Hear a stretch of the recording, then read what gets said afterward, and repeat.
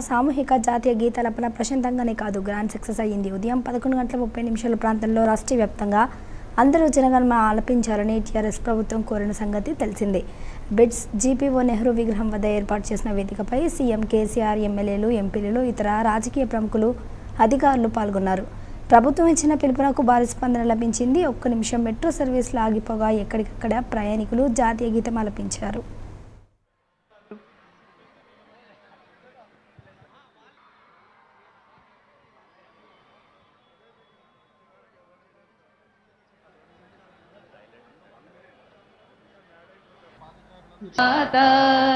पंजाब गा विंध्य हिमाचल यमुना गंगा उच्छल जलधि तरंगा तव शुभ नामे जागे तव शुभ आशीष मागे। बोलो स्वतंत्र भारत की।